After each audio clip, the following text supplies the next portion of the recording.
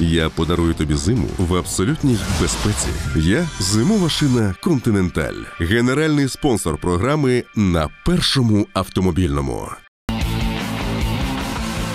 Увімкни світло на повну. Філіпс, партнер проекту по безпеці на першому автомобільному.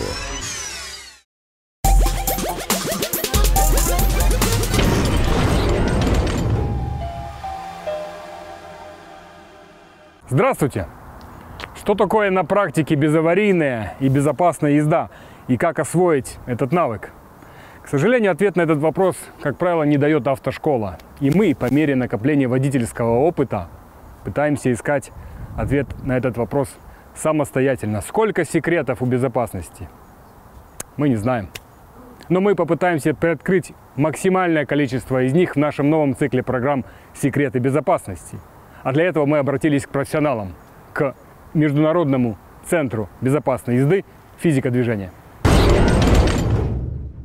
Привет, меня зовут Александр Саракеев. А я Кирилл Каландырец. Мы руководители Киевского центра безопасного вождения «Физика движения». И совместно с Первым автомобильным телеканалом создали проект, который призван повысить вашу безопасность на дороге. И этот проект называется «Секреты безопасности». За время этого проекта мы сделаем все, чтобы рассказать вам о дорожной безопасности как можно больше.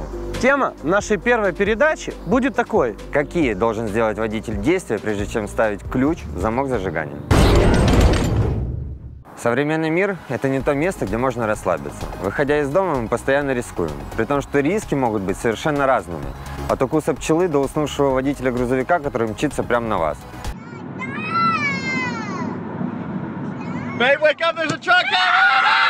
Согласитесь, если быть внимательным и осмотрительным, можно многих этих проблем избежать. Большинство водителей начинают свое путешествие с посадки в автомобиль, запуска двигателя и трогания. И это ошибка. На самом деле, ваше путешествие начинается немного раньше.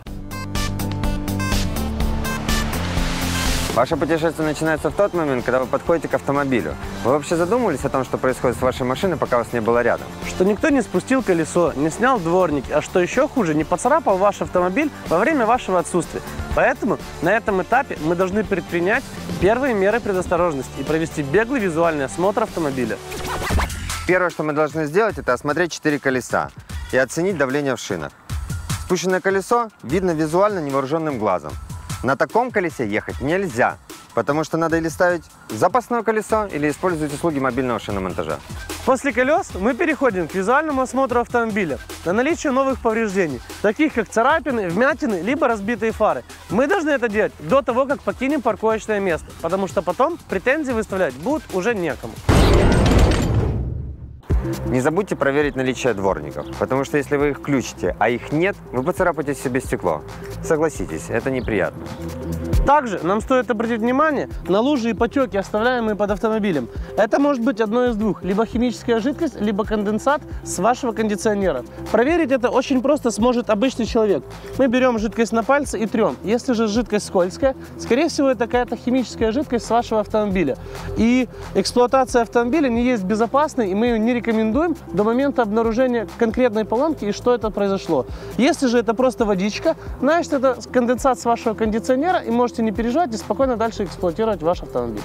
Также во время осмотра мы должны обратить внимание на помехи, которые могли появиться во время вашего отсутствия. Это могут быть как тележки супермаркета, животные и, не дай бог, дети в колясках. Эти помехи мы должны устранить до начала движения, нежели потом иметь неприятности. Осмотр вы должны довести до автоматизма, ведь это занимает меньше двух минут, но при этом максимально гарантирует вам безопасность перед началом движения. И теперь мы можем спокойно садиться в автомобиль с полной уверенностью, что все в порядке. Попав в салон, возьмите за привычку запирать центральный замок. Сразу же после того, как закрыли двери вы и ваши пассажиры. Это обезопасит вас от внезапных гостей, которые могут нанести вам вред. И поверьте, никакие это не сказки.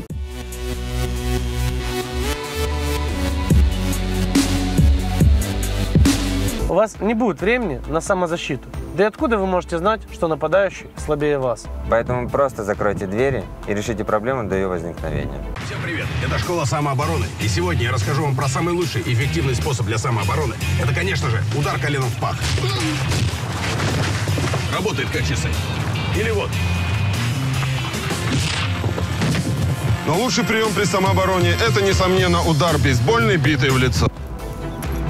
Итак, запомните следующие вещи. Путешествие на автомобиле начинается тогда, когда вы подходите к нему.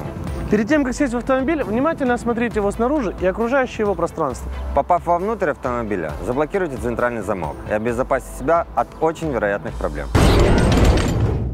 Это была первая программа нашего цикла «Секреты безопасности». А в следующей программе мы поговорим вот о чем. Начало движения и точки обязательного внимания. Всего доброго и везения вам на дорогах. Я подарую тобі зиму в абсолютній безпеці. Я зимова шина Континенталь, генеральний спонсор програми на першому автомобільному. Денні ходові вогні Philips. Це ваша безпека на дорозі. Партнер проекту «10 кроків до безпеки компанія Philips.